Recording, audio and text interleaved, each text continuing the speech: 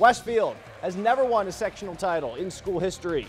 Meanwhile, Carmel's looking for a seventh straight sectional. It's the Hounds out of the gate. Brian Waddell, straightaway three, finds the bottom of the net for Carmel. Next, Charlie Williams at the rim. Strong take. The Greyhounds are building that lead. Rocks have relied on Braden Smith. He had 41 last night to make it here. Smith buries a three there for Westfield. All Carmel, however. Waddell working inside through contact. Then Connor Gioia off the bounce, split in the D, and off the glass and good. 53-27, Greyhounds win their seventh straight sectional. Brownsburg Plainfield for the sectional title in Avon. A low-scoring affair in the first half. Aiden Moyers, the corner triple.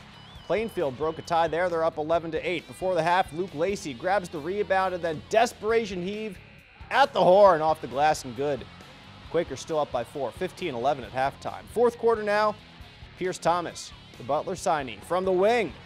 Three of his 19 points, a 26 all, a thrilling finish. Now Plainfield trailing by two. How about that take from Ian Scott? The drive, the bucket, the foul.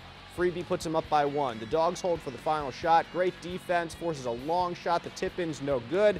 Plainfield, their first sectional since 99, 29-28. To Class 3A, Beech Grove has won sectionals each of the past two years. Tonight, a rematch of last year's title game, taking on Indian Creek. The Hornets off to a great start. Jaden Curry weaving through the defense. Stops, pops, nothing but net. BG, the early lead. Indian Creek having trouble with the Hornets press. They turn it over. That's Gavin Mitchell right up and in for two points. Now the Braves trying to stay with it. Facing a turnover of their own on defense. Get it up court quickly.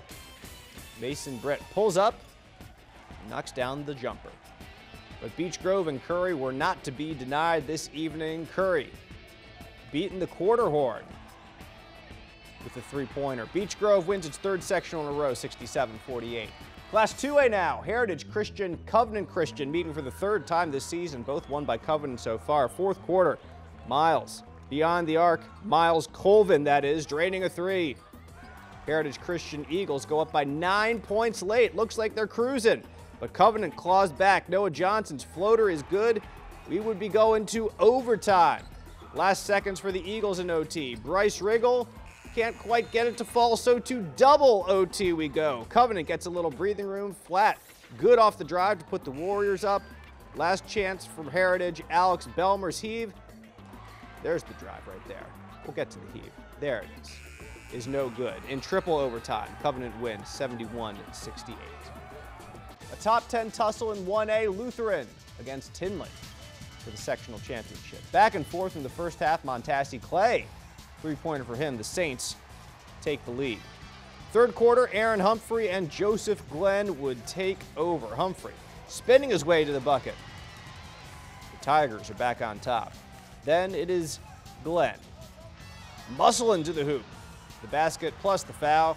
He's fired up. Tindley starts to pull away. Fourth quarter, the exclamation point as Jaden Pinkston throws down. Tindley wins the sectional 58 to 46. That's sports.